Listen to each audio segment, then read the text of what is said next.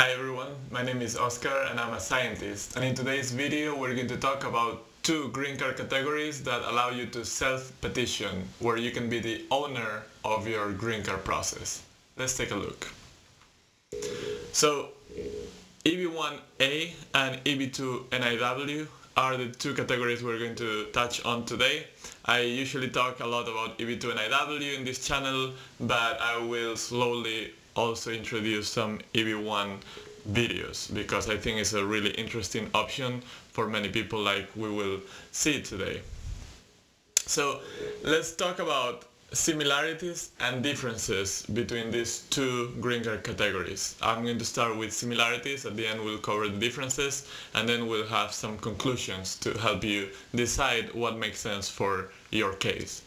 So in terms of similarities, these two green card, well, first of all, both of them are green card um, processes. So the end result is getting a green card, permanent residency, and is the same. So if you get your green card through EB1, it, it has the same effects that if you get it through EB2, or even we're not talking about those today, but EB3 and EB4.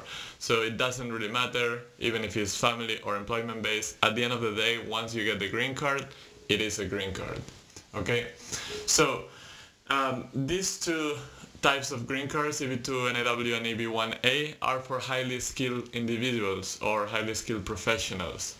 So it means that as part of the requirements for them, you're supposed to have um, either advanced degree or show that you are really well positioned in your field, and that is true for both. EB1A um, is for individuals of extraordinary abilities, and later I'm going to cover what USCIS means by extraordinary.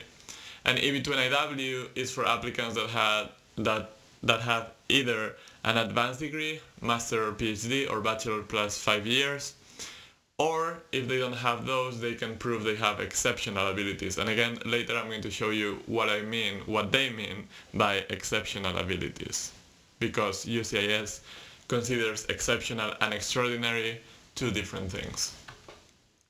So another similarity between EB1A and EB2NIW is that you can self-petition. That means that you don't need a job offer in order to apply for this green card. You can submit your I-140, you don't need a labor certification. I'm going to cover that in the next slide. This makes these two green card processes really appealing for people that work in organizations that don't want to sponsor them for a green card or people that are abroad, that directly they are not in the United States, they live somewhere else and they want to immigrate in the United States and they don't have a job offer available to them, but they are highly qualified so they can still get their residency through this uh, type of green card.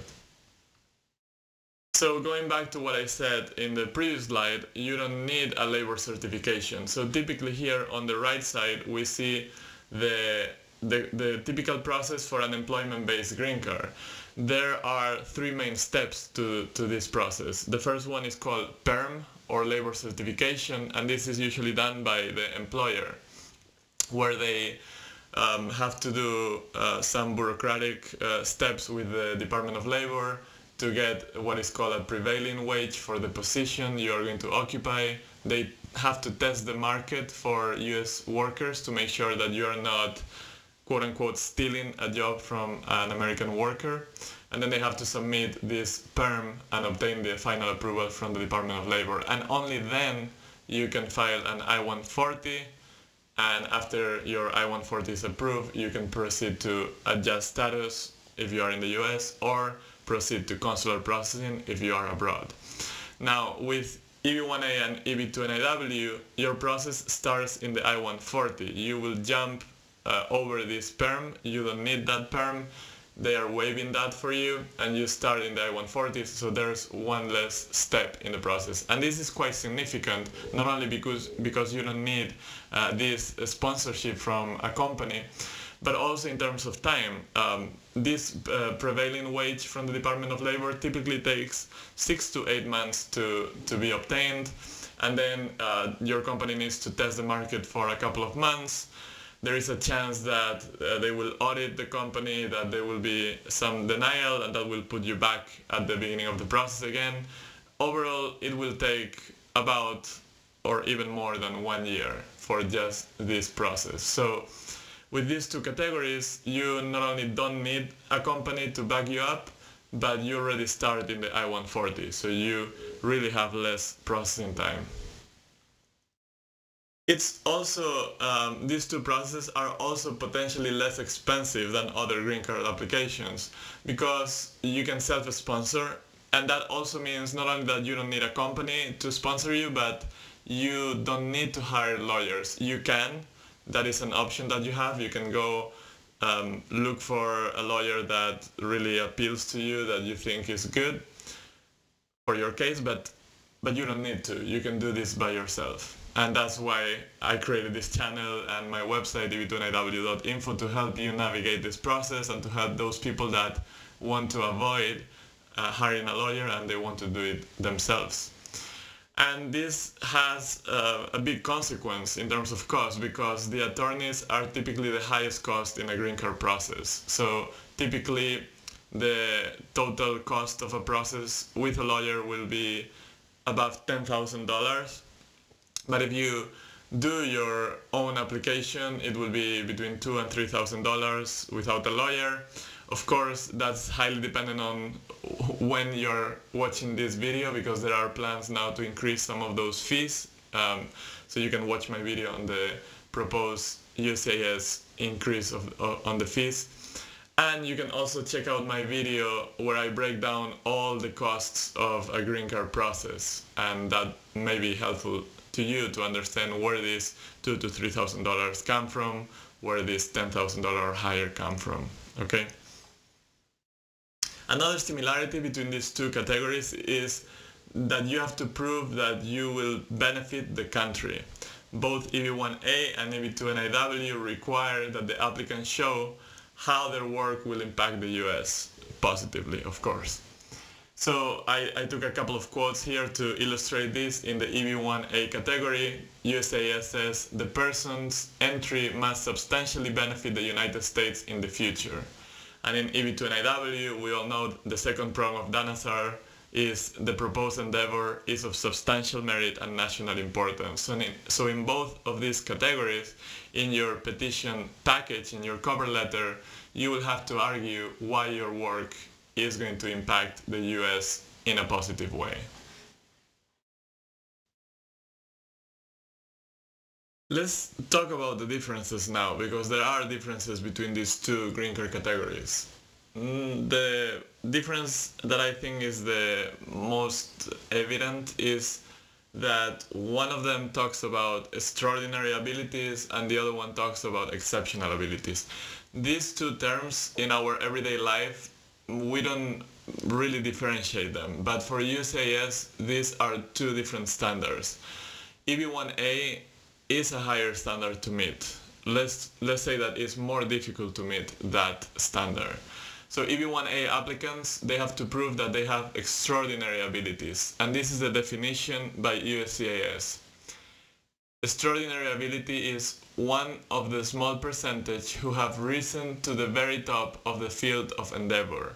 So if you are applying for this green card, you have to present yourself and you have to prove that you are at the very top of the field.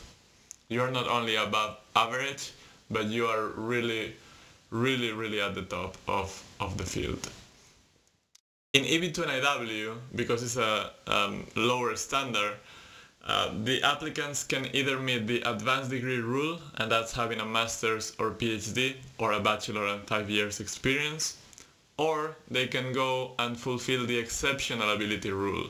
And now here is the interesting part. Extraordinary and exceptional are not the same for USCIS. So if extraordinary we saw how is the very top of the field, exceptional is defined as a degree of expertise significantly above that ordinarily encountered in the sciences, arts, or business. This standard is lower than the standard for extraordinary ability classification. So here we see clearly how USCIS defines exceptional as being above average, but extraordinary is even higher than that. So if you want to either fulfill the EB1 extraordinary ability or in EB2 NIW fulfill the exceptional ability, you need to meet at least three out of the 10 criteria that USCIS publishes. Of course, those criteria are different for extraordinary or exceptional, and I can show you quickly where to get that information from. So if you Google, for example, EB1 USCIS, one of the first results will be this uh, website where they talk about this employment-based preference EB1 category. They define what is extraordinary ability. And here you have the 10 criteria that you can see if, if you meet at least three of them. You must have at least three. In your petition, you will always try to target more than three in case the officer doesn't agree with one or more, uh, you have some um, extra ones. But uh, here is where you can get that information. If you do the same with EB2, you Google EB2 USCIS, one of the first results will be this website. And here in exceptional ability, you have, um, in this case, seven criteria, and you have to meet at least three out of these seven. So I also want to give you an example of the different standards with one of the criterion that is similar for both um, EB1 and EB2. There's one that talks about membership in associations. So that one for EB1A says evidence of your membership in associations in the field which demand outstanding achievement of their members. For EB2 it says membership in a professional association. So here you can see the difference very clearly how for EB2 an exceptional ability, the requirement only um, asks of you that you're a member of any professional association. So you can pay a fee for that society, for that professional association, and show them that you are a member in your petition.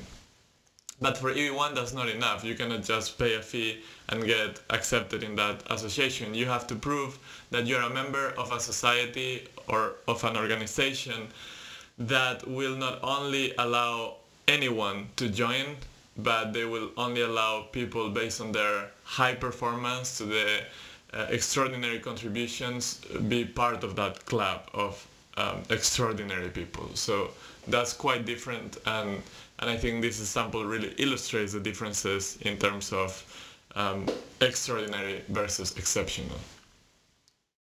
So the the other bigger, uh, uh, in my opinion, the biggest difference really is what happens with the visa bulletin for these two categories. So the visa bulletin, and if you want to know more about the visa bulletin and how to interpret it, I have a video that I leave a link here. But just to give you a brief explanation, the visa bulletin determines when you can file for adjustment of status if you are in the US or when you will be called for consular processing if you are abroad. Basically, it tells you what is the wait time for your process. Generally, EB1 category has less wait times than EB2, and this is normal because the higher standard, there's going to be less people applying for it, less people that can qualify for it, so there's going to be faster processes. And EB1A is generally a better choice for applicants from India and China because there are long wait times for EB2 for people that are born uh, in those countries. And remember that here what matters is the country of birth, not the nationality. So uh, USCIS will look at your country of birth. So if you are from China and India right now and in the past years, EB2 is not the best option because you have to wait uh, more than, I was going to say months, but actually years for your adjustment of status. But EB1, you don't have that wait time. So let's look at an example to really see what are those differences. So this is the uh, table for employment-based green card uh, from the visa bulletin from February 2023. And if we look at this table, basically today we have to focus on the first and second categories. Those are EB1 and EB2, in which we include EB1A and EB2 NIW. And then we have columns for um, the different countries. So we have China, Salvador, Guatemala, Honduras, India, Mexico, Philippines, and then the first column is all the countries that are not listed in the other columns, okay? So what we see is in general, EB1 will have less wait times, for example, For all other countries, EB1 has a C. C means current. That means that as long as your I-140 is approved, you can proceed. Um, actually, even before your I-140 is approved, you can proceed for adjustment of status. So it means that there's no wait time currently. So you see that also Salvador, Guatemala, Honduras ha has a C, also Mexico and Philippines, and China and India have a priority date of June 1st, 2022, which means that only the applicants uh, that filed their I-140 before June 1st, 2022 can apply for adjustment of status or will be called for consular processing. But June to now is about half a year wait time. Now let's compare that with EB2. EB2 for China has a priority date of July 2019, so that's two year difference uh, with respect to EB1. And India has May 1st, 2012. That's a 10 year difference in wait time between EB1 and EB2. So you can now see clearly here how what I was saying about India and China, um, EB1 is a much more attract attractive option than EB2.